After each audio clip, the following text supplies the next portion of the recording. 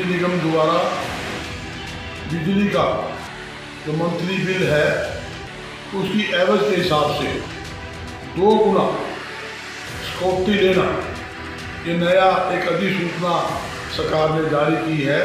ये जनता की भावनाओं के साथ खिलवाड़ है, जिसे किसी कीमत पर सहन नहीं किया जाएगा। आज स्थिति ऐसी है, आम जनता अपने घर के, दुकान के बिजली के बिल भरने की स्थिति में नहीं है। ऐसे में दो महीने के एडवांस कोटी कहाँ से दे पाए? कोरोना महामारी के समय सरकार ने बंद दुकानें, बंद फैक्ट्री के बिजली के बिल लिए हाउस टैक्स लिए।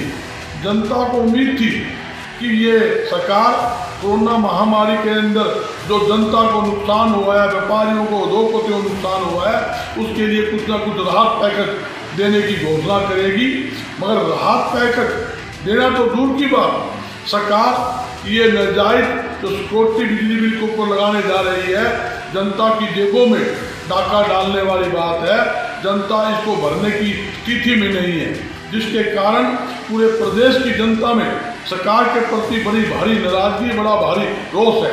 अगर सरकार ने समय रहते हुए ये फैसला वापिस नहीं लिया तो प्रदेश के व्यापारी, आम जनता एकजुट होकर सरकार के इस फैसले के खिलाफ सड़कों पर उतरेगी और जोरदार सरकार का विरोध करेगी, ये मुझे कहना है।